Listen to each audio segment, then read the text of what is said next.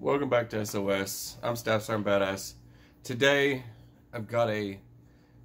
To me, I think it's a serious topic, and it's on. It's it's weighing on me. It's kind of like. Remember all those times I'll start having these conversations, and it's uh, we're talking about digital imprint and uh, something along the lines of uh, social currency and, and all this types of crazy stuff, right? And everyone wants to putting on the tinfoil hats, and you know when they're around me, they're like, "Oh man, uh, time for the tinfoil hat." But most of these folks don't realize how real all this is and how soon all of it's going to impact every one of us, even you watching this video. It's going to impact our daily lives in such an extreme way and I don't think there's anything we can do about it because there's too many people worshiping it. And that's the scary thing. Now, so I'm with my kids. You know, I've got three kids and they're younger. They want to watch uh, a movie called Ron Gone Wrong. And it started off as this uh, little robot dude uh, at like a McDonald's or something. I don't know. But it got brought to our attention somehow. And I got told uh, to, you know, check out this movie or whatever. Kids wanted to watch it. So I got it. And you don't realize how much how many little okay when you watch movies these these days they they throw in a lot of little hints and gestures along the way now this is supposed to be it, it's kind of like remember back in the day when okay now i was deployed when ipods came out that so i got hit with a wave of everyone was enjoying these things like three years later you know i got i got hit by all these things later on I come back, it's like, what is this? What is this thing? And and so technology for me, it was you know, it was like a slap to the face when I got home, and I had no idea all this stuff existed. Now it's kind of they're kind of treating it the same way, like a like a crazy Apple store, and you go inside and there's a robot, and everybody gets one, and that kid has to have one and gets it, and it links to every account in social media known to man. They know uh, everything about the individual that purchases the robot. And the robot's supposed to be his little customizable companion that follows him around everywhere. We see where this is going. supposed to be a device, like a phone, but it's a robot. Okay. We watched this movie, and then my wife, well, she doesn't really keep up with the tinfoil hat stuff that I talk about. And I said, well, uh, you know, probably in five years, there's going to be quantum computers that in uh, the the uh, be the end of crypt, uh, uh, crypting. You can't like your password. Okay. Uh, so if you had like a password set up, and you know your password is probably not password, and it's something unique. And now a computer it would take several years to hack that information. Now, quantum computers can do it in seconds. And now we're not at that stage yet. So, but if, when we do in like five years, there that's going to be the financial collapse that everyone talks about. It's going to be the end of banking, cryptocurrency, all that stuff. It's just going to everything's going to crumble all that stuff. The only thing that's going to be left is barter and trading. It's going to be some guy like me with some goats, you know. it's going to be something like that. It's like you want some eggs, and I'll trade you. Uh, you're going to literally be sent into the dark ages, all because of uh, all because of uh, quantum computers. Now, uh, a lot of folks don't keep track of weird stuff like that. That's the reason why a lot of you know a lot of things that are refer- referred to in robotics, like uh, with the metaverse stuff.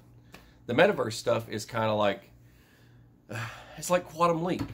It's I, I guess it's about the uh, best way of saying it, but it's like um, what they're trying to do. Now there's this metaverse thing that everybody's getting all hyped up about.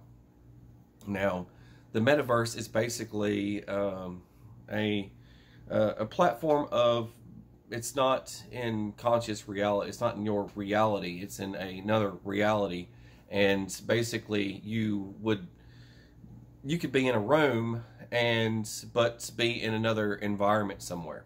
And now what they're what they're interlocking together is how basically you won't even drive anymore. You won't even travel anymore. You won't even walk on your own two legs anymore. That's the way they want this. They want it so tuned in. And uh, this goes back to this movie that I had watched with the kids. And I'm like, you know, we're not too far away from that. That because there's a there's another phrase in the little metaverse community of this stuff, this app crazy stuff, and all your personal information and avatars and all this stuff is the keyword robot. They want as your avatar to be this robot. And basically, that's the best way of saying it. it it's an avatar. It, it thinks and does everything that you do, has your personality, and blah, blah, blah, and is supposed to act and be you. Now, I'll get into more detail about why that is. Now,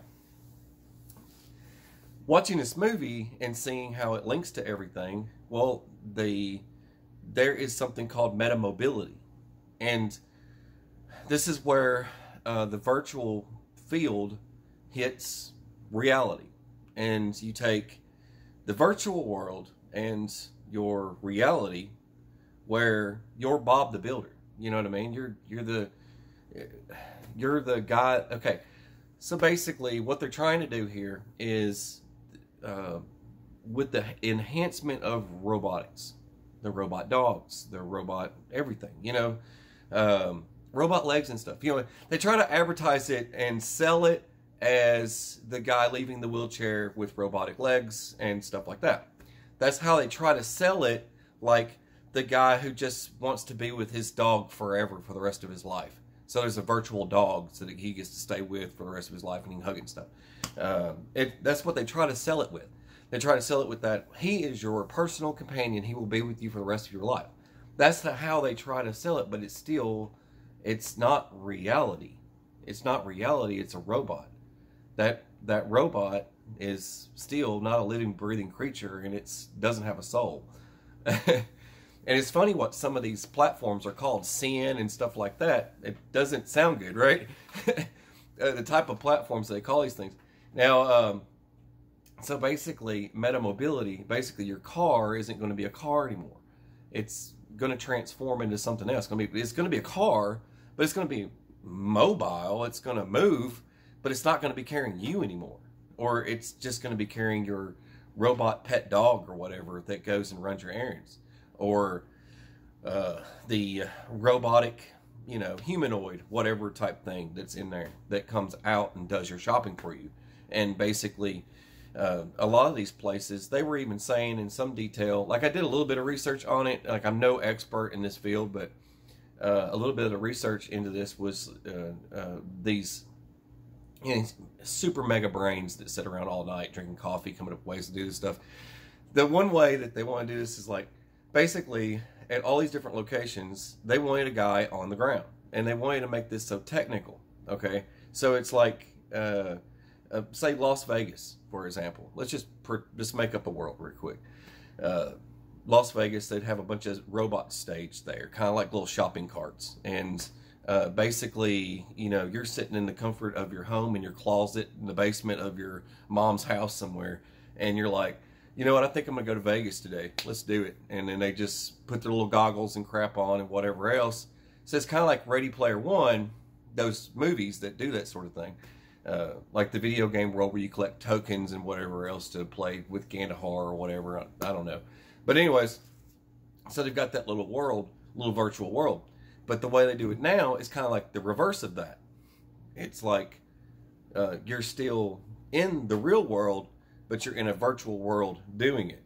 And advanced cameras. Now, when people start thinking this stuff, they start thinking, well, it's supposed to be like this visual world, like uh, virtual world, so it's supposed to be like a cartoon, uh, like a, a computer game or something like that. But no, it's the opposite of that. So basically, your reality is going to be a trucking robot. So basically, you're going to say, "Well, I want to go to Vegas today." Click, click, and there you are. You're in Vegas. You stand up, but you're this robot, and but this robot, uh, you know, could be coated with your, you know, clothes or whatever it is, you know, as far as like a digital outfit, right?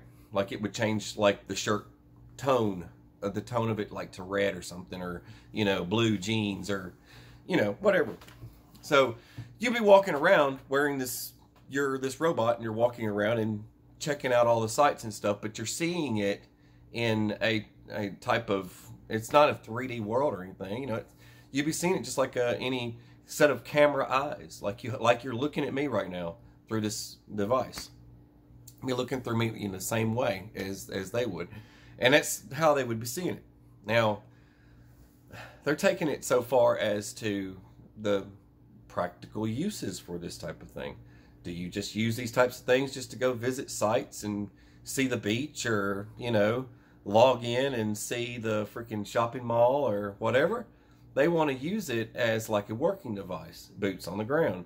So, sum it up when this meta mobility, is how they're calling it, uh, uh, and, and, of course, this is in the same world of like uh, quantum computers and all that stuff, which is going to lead to the end of the world and all that.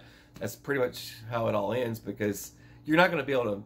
I mean, you can't compete with a quantum computer, and they're the size of a blood cell, like a red blood cell. They're like the same size as that, and they literally shrink it down to that much, and it's that powerful. It like trumps a computer by. Um, it's it's insane, and you have to look at the uh, I would recommend, uh, you know, after this, looking up the videos on just quantum computers, like the basically explained, so that you can get an idea of kind of like how how much it actually trumps the. It's insane. It's it's crazy, but so this boots on the ground type things like if you wanted a technician to come and fix something that's very sophisticated that needs to get fixed right away or you need a, a, a super scientist to come and do some work for you. Uh, you wouldn't need him. He could be at his home at the beach somewhere and in a little room, and he could step into his little metaverse, whatever, and he could uh, meta mobility his butt there through a robot and do all the work as a robot on the scene. And this would lead to jobs and how you, you know, a lot of folks will lose their jobs unless they're not, you know, uh, qualified and experts in their field of, of certain types of technical jobs where it's like uh, climbing a power line or something, you know, connecting some lines.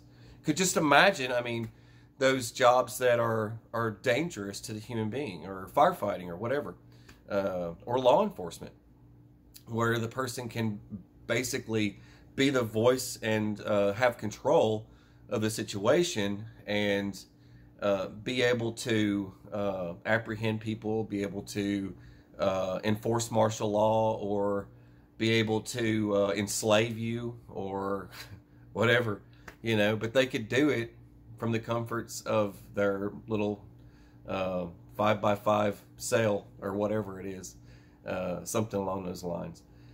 but that just about sums that up in in the perspective of why it worries me and how we're literally just a few years away from it. And I would definitely, if I were you, be prepping and preparing for that, uh, doing everything you can to be as old school as possible and to get completely unplugged from this grid. Get get out of the cities. Get out of the cities as fast as you can. I think we're like an hour away from any any city in any direction. So uh, get as far away as you can. Now, I know. Uh, uh I know, uh, you know, a lot of the stuff that had come out, everyone thought, and some people still think it's going to be a thing, but it's not. It was, it was crap canned a long time ago. It was uh, drones and delivery services, and how Amazon was going to deliver freaking packages by drone and stuff. All that stuff got canned uh, years ago. Like, I think, uh, I think like five years ago they canned that idea only because uh, it would, it would interfere with uh, flights and all kinds. They would have all kinds of issues with it, and they're just too hard to maintain. And they actually discovered that uh, there was other ways to get these about than than doing it that way. And this is kind of leaning into what this future is going to become, and it's it's going to be uh, a postal worker driving a vehicle, but it's not a postal worker. There's no, you know, there might be a robot dog in there that freaking throws packages out or something, you know, whatever. Uh, so you could get you could get some type of square vehicle that shows up and freaking uh, uh, you know makes some beep boop beep boop freaking noise and freaking spits packages out on your front porch or something. I don't know. yeah. something like that. I gotta add my sense of humor to this because I have no idea how that's to turn out. But these are just just food for thought. And that's pretty much this is just stuff that I think about, and it goes back to all the things I think about. And if you like more of this things I think about, it's um, uh, I've got a whole S- SHTF series in a playlist that you can watch. It's a whole variety of them, and it just goes on and on about tinfoil hat type stuff. But anyways, but I hope you enjoyed it. Please share with your friends. God bless and take care.